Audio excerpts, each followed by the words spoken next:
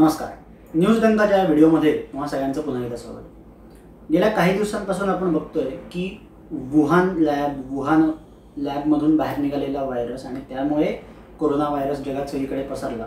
ही चर्चा पुन्हा एकदा सगळीकडे रंगू लागली मी पुन्हा एकदा म्हणतो याचं कारण गेल्या वर्षी जेव्हा आपल्याला माहिती आहे की मार्च साधारण मार्च एप्रिलच्या आसपास जेव्हा जगभर कोरोना व्हायरस पसरला तेव्हासुद्धा अशाच पद्धतीची चर्चा सुरू होती की वुहान लॅबमधून हा व्हायरस बनवला गेला आहे हा मॅन मेड व्हायरस आहे. हा नॅचरली क्रिएटेड व्हायरस नाही आहे त्यावेळी काय झालं?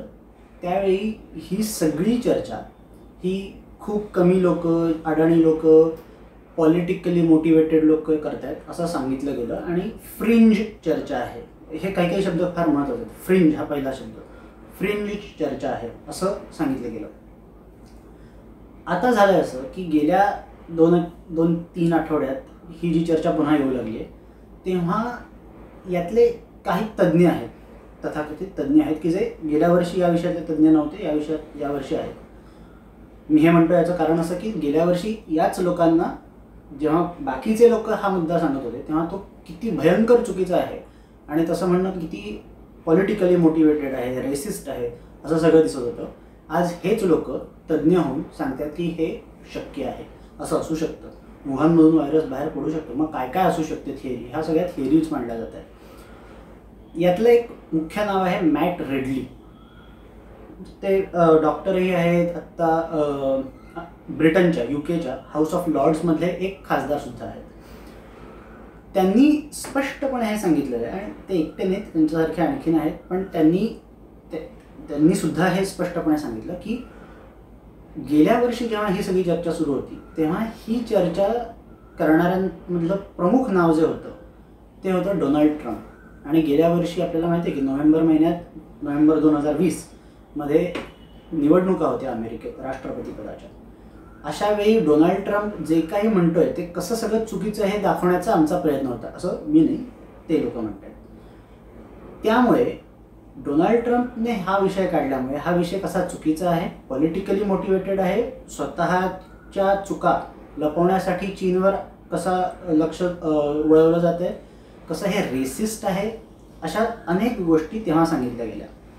आणि हे मान्यही केलं अनेक लोकांनी की कदाचित ती आपली चूक असेल की तेव्हा ट्रम्प बोलत होता म्हणून आपण हे सगळं केलं. आता खरोखर ते त्याच्यात काही तथ्य जाणवू लागलं हे सांगण्यामागचं म्हणजे हे तर आपल्यासमोर आहेच पण याचा नेक्सस जो आहे तो आपण लक्षात घेतला पाहिजे. समाज माध्यमांमधून ट्विटर असेल इंस्टाग्राम असेल फेसबुक असेल वुहान लॅब वुहान व्हायरस असं काहीही म्हटलं त्याबद्दलचे काही तथ्य फॅक्ट्स त्याबद्दलचे काही एव्हिडन्सेस पुरावे द्यायचा जरी प्रयत्न केला तरी त्याला मॅनिप्युलेटेड एव्हिडन्स किंवा मॅनिप्युलेटेड आर्टिकल असं म्हटलं जायचं. त्याला आमच्या कम्युनिटी गाईडलाईन्समध्ये हे बसत नाही असं सांगितलं जायचं आणि तो कंटेंट काढून टाकला जायचा. त्याचबरोबर न्यूयॉर्क टाइम्स असेल इकॉनॉमिस्ट असेल वॉल स्ट्रीट जर्नल असेल ह्या तथाकथित मोठ्या वृत्तपत्रांनी अमेरिकेतल्या विशेष करून कसं हे सगळं चुकीचं आहे आणि हे कसं याच्यात काही तथ्यही नाही आहे वुहानमधून असा काही व्हायरस येऊच शकत नाही. हे सांगितलं गेलं. वुहानमधली लॅब कशा पद्धतीने बी एल सिक्युरिटी फोरची लॅब आहे म्हणजे ज्याच्यात त्यांचे काही मापदंड आहेत त्या पद्धतीने level one level two level three level four तशी ही लेवल फोरची लॅब आहे त्यामुळे इकडनं काही बाहेर पडूच शकत नाही. कारण लेवल फोर म्हणजे तुम्ही स्पेस सूट वगैरे घालून सगळी कामं करत असता. आज त्या त्यातलीच काही लोक सांगत आहेत की हे बरोबर आहे की वुहानमधली लॅब त्याची तयारी लेवल फोरची आहे.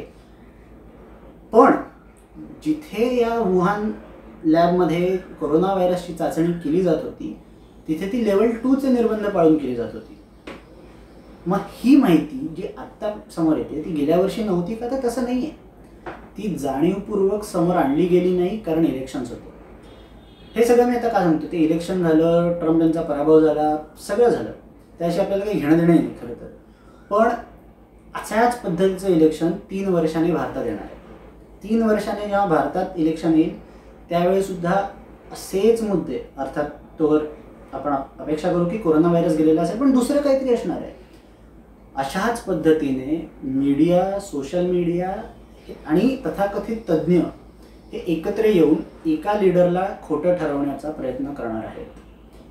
त्या तो लीडर जे काही सांगेल ते कसं चुकीचं आहे स्वतःची राजकीय जबाबदारी दुसरीकडे ढकलण्यासाठी लक्ष विचलित करण्यासाठी हे आहे आणि कसं जसं ट्रम्प यांच्यावर रेसिस्ट असल्याचा आरोप केला जायचा तसं इथे कशा पद्धतीने कम्युनल आहे असा आरोप केला जाणार आहे. ते आरोप कसे चुकीचे आहेत हे सांगण्यासाठी आपण कोणीही काही टाकलं सोशल मीडियावर तरी तो मॅनिप्युलेटेड कंटेंट आहे असं सांगितलं जाऊ शकतं आणि आपला कंटेंट काढला जाऊ शकतो. ही पॉवर सोशल मीडियाला आपण द्यायची का? विशेष करून आपल्याला माहिती आहे आत्ता सरकार आणि नवे नियम म्हणजे केंद्र सरकार नवे नियम ट्विटर यांच्यात जो काही संघर्ष चालू आहे त्याच्यात म्हणजे मजेची गोष्ट आहे की ट्विटर व्हॉट्सअप ह्यासारख्या संघटना यासारख्या कंपन्या असं सांगतात की freedom of speech freedom of expression हे धोक्यात आहे या सगळ्या नवीन नियमांमुळे.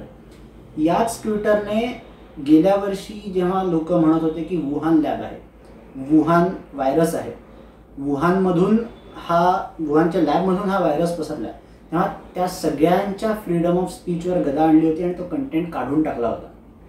तेव्हा कुठे गेलो होतो freedom of speech freedom of expression असं म्हणतात की if you believe in freedom of speech then you believe in freedom of speech for all if you believe in freedom of speech for some people you don't believe in freedom of speech at all हे ट्विटरला आणि या समाज माध्यमांना कोणीतरी सांगणं खूप गरजेचं आहे. आपण लक्षात घेतलं पाहिजे की ट्विटर व्हॉट्सॲप ह्या सगळ्या कंपन्या आहेत. भा सार्वभौम भारताच्या पेक्षा त्या खूप छोट्या आहेत. अगदी रफ लँग्वेजमध्ये सांगायचं झालं तर त्यांची लायकी तेवढी नाही आहे अशा वेळी व्हॉट्सॲप ट्विटर या सगळ्यांना भारतीय पर्याय शोधणं हे आपलं म्हणजे अत्यंत गरजेचं आहे. कारण इथे तुम्ही कोणत्या लीडरला सपोर्ट करताय कुठल्या पक्षाला सपोर्ट करताय कुठल्या विचारधारेला सपोर्ट करताय हे महत्त्वाचं नाही आहे इथे महत्त्वाचं हे आहे की काही फॉरेन कंपन्यांना काही परदेशी कंपन्यांना भारताच्या निवडणुकीवर परिणाम आणि घडवण्याची त्याचे परिणाम बदलण्याची पॉवर आपण द्यायची का? हे आपल्या सगळ्यांच्या हातात आहे युजर्स म्हणून. त्याचं वापर करणारे म्हणून त्यांचे ग्राहक म्हणून. आणि ती जबाबदारी आपण लक्षात घेऊन या पुढची तीन वर्ष जी आहेत ती अत्यंत महत्त्वाची आहे त्यामुळे ही पावलं उचलणं आपण स्वतः उचलणं सरकारला काय करायचं ते सरकार ठरवेल आणि सरकार करेल. पण आपल्या दृष्टीने आपण करणं हे अत्यंत महत्त्वाचं आहे. त्यामुळे ह्याची काळजी आपण सगळ्यांनी घेतली पाहिजे. धन्यवाद.